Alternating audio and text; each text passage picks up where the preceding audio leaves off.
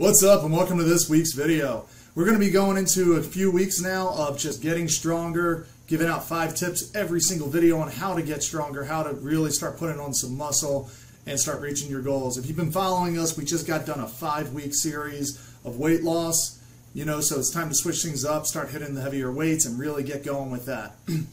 if you haven't yet, make sure to subscribe to this channel. We're putting out videos a lot more than we used to and just really getting into things a lot harder. Um, as we get, you know, into the summer months now, hopefully you already lost the weight you wanted to lose. If you haven't, just go back and check out the old videos.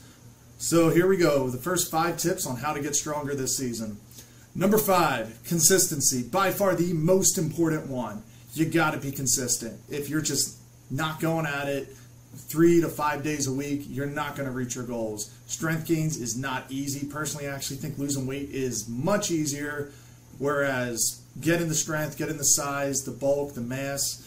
It's just you got to work a lot harder for it. You're going to have to, you know, deal with a lot more pain.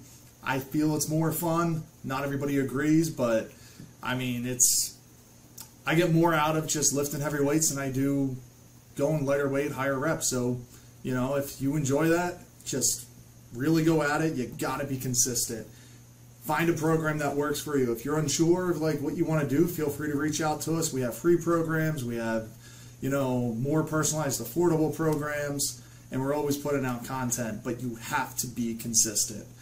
Number four, increase the weight. This should be a given, but most people don't realize this. So many of our clients come in every week and they're just going to tell us like, okay, it's time to bench. I do this weight. It's like, no, you got to push yourself harder don't do the same weight every single week. If 135 is your bench, it's time to try 150. You know, maybe you don't get all the reps in there, but you're at least pushing yourself, getting out of your comfort zone, and like really finding out what you can do. If you're trying to put on mass as a guy, you should be shooting for that like 200 plus pound bench. You know, more depending on what you know what your level is right now. But don't get comfortable with the lighter weights.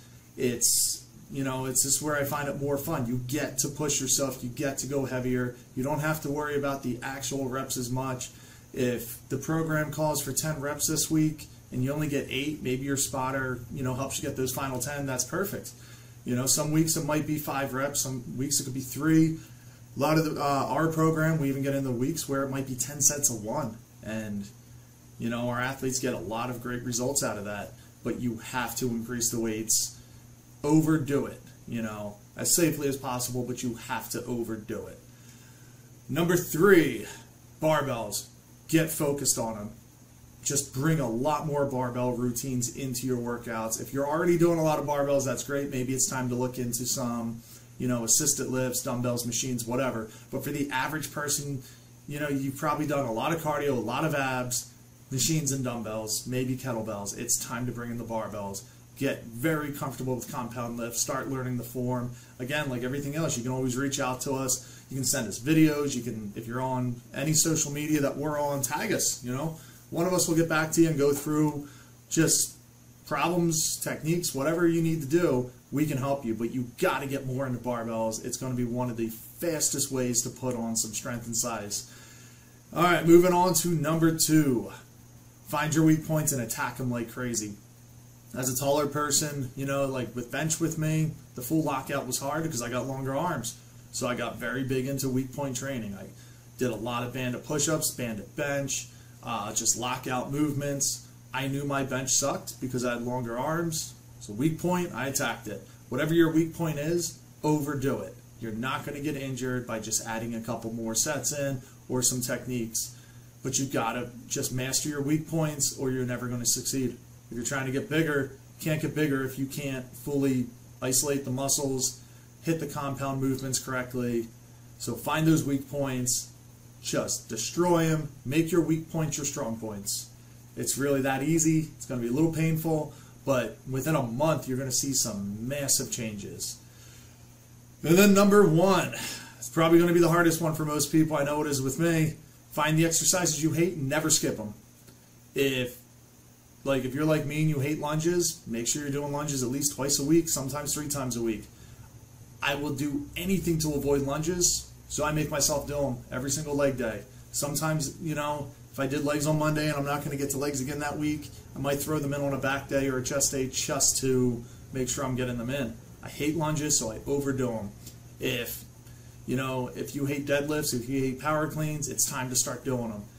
Find the things you hate, make them a major part of your program. Most likely, the reason why you hate them is because you suck at them. So stop sucking at them. Get better at them. You know, it's you've been neglecting them. For me, with lunges, I wasn't getting the strength out of my quads that I wanted to. You know, my legs weren't as strong as I wanted them to be. I knew it was because of lunges, but I skipped them anyway, and then I made myself go for them.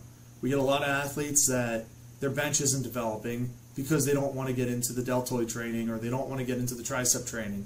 You know, but the arms, a lot of people only want to focus on the biceps. We have a lot of athletes that want a big bench. Biceps aren't going to help you there. You got to go after the triceps.